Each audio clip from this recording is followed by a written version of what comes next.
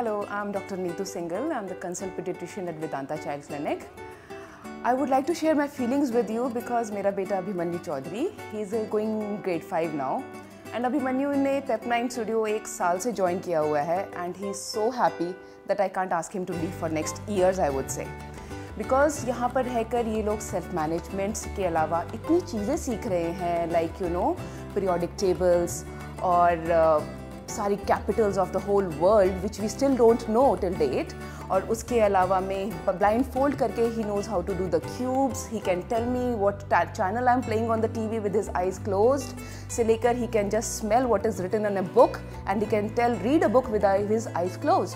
So I'm so happy and uh, my best wishes to the whole team, you know, keep up and uh, thank you so much for that.